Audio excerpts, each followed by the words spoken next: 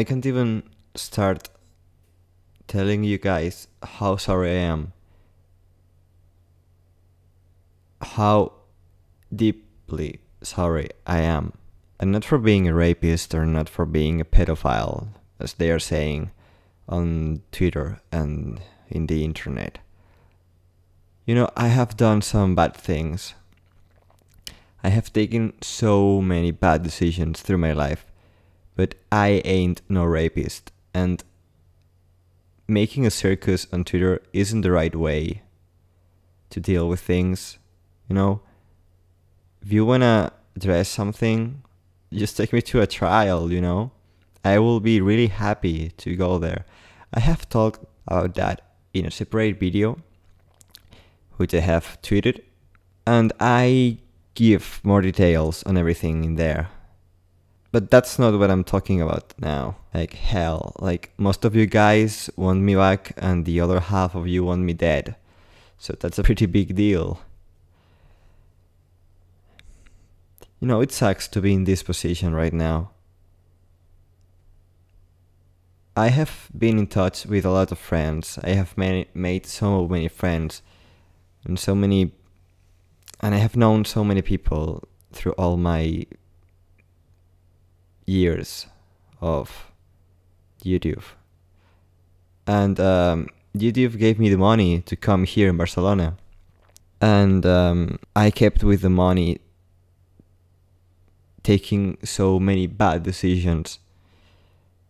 You know, money changes people, and uh, it actually changed me a lot. I'm here to say that eventually I got bored of ASMR.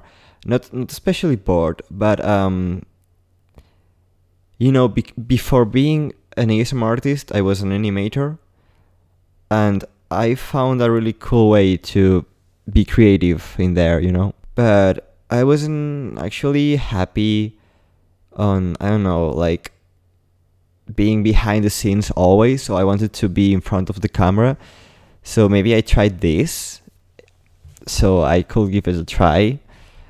And um, I know I really liked it at first, but I was trying to find creative ways, and I'm keep I keep trying, but it didn't have like ASMR didn't fill my needs, my creative needs.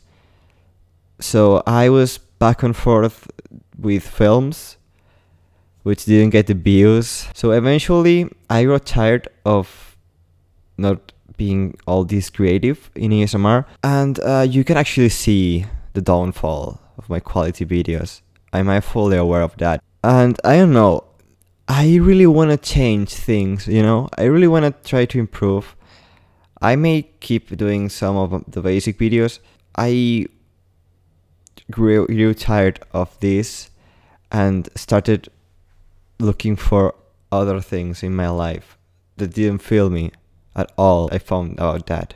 So as I was saying, I made terrible choices. I took things that I shouldn't have taken.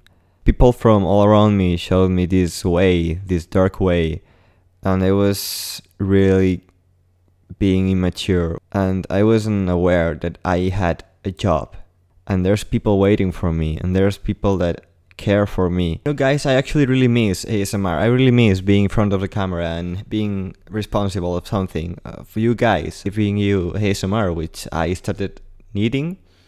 I don't have that need anymore. Um, it's not that I don't feel ASMR the same way. I used have a better control of my sleep schedule and my.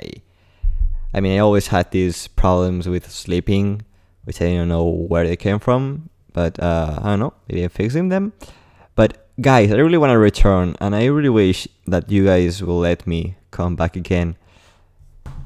A lot of you guys will say like, um, you're just here again for the money. And guys, I have money. I'm not here for that. I actually really miss being here.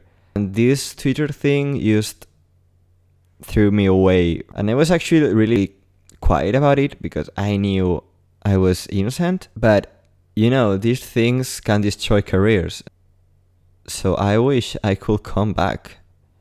I am really sorry for all this time. Not even like all these three months that I have been uploading videos, but even from before.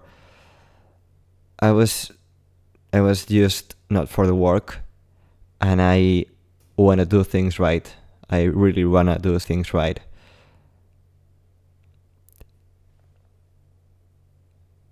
Thanks for listening me out and um,